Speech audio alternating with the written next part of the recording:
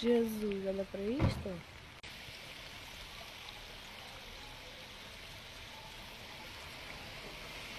Pelo menos cheira bem.